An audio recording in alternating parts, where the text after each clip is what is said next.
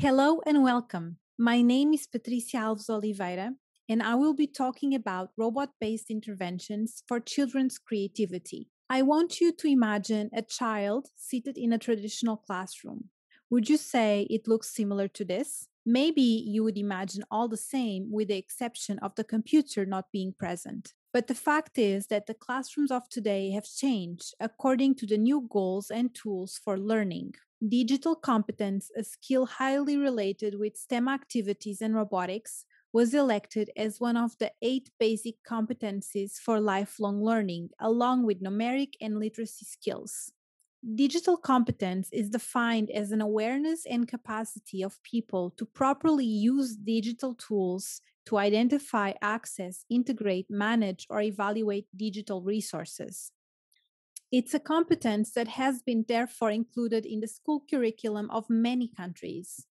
It has been integrated in the classroom in many forms, from programming learning environments such as Scratch to robots. These tools are important for learning, as children can learn concepts about curricular topics, such as mathematics or geometry, through the use of these tools. For example, by programming a robot to perform 90 degree angles four times, a children can better understand the formation of a square and start understanding the connection between geometry and squared objects and even houses. There are several benefits for using robots for learning. For example, children can learn about curricular topics that are usually abstract in a more tangible way. They promote motivation in children for learning, as most of these tools have playful components and children become active builders of their own learning. And also because these activities are usually performed in groups and they can train interpersonal skills. However, little is known about the effects of STEM education and robotics on children's creativity. It is important to investigate if creativity levels are influenced by these activities, as creativity is one of the most desired skills of today's world that is usually not encouraged in traditional classroom activities, where standardized knowledge is usually preferred. To investigate this, we conducted a study with three experimental conditions. In the first experimental condition, children learn how to program robots.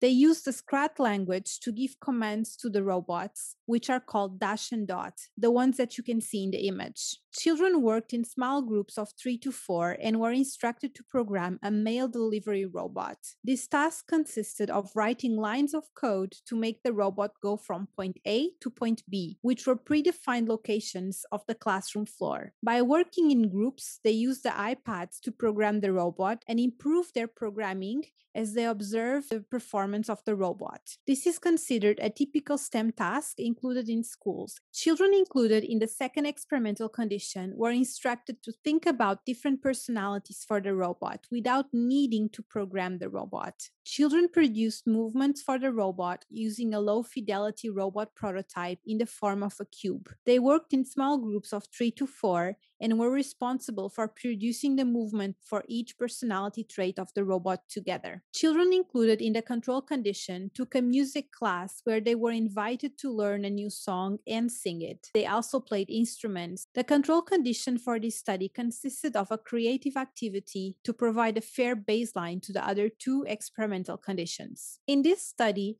140 children were involved across the three study conditions. We used the test for creative thinking drawing production to measure creativity at pre and post test levels using forms A and B of the same test. So, the main question we want to answer is if creativity in children increased when performing robotic activities. Our results showed an increase from pre-test to post-test in all study conditions. This result indicated a positive effect of interventions on nurturing creativity levels of children. Results also showed that creativity increased more in the program condition compared to the design condition. So our study seems to show that STEM activities with robots have the potential to stimulate creativity in children. This means that STEM activities with robots can have benefits in different cognitive abilities of children that go beyond learning about curricular topics and go as far as nurture their creative thought. Check out our paper for more exciting results as we analyze creativity in different dimensions. Thank you so much for listening.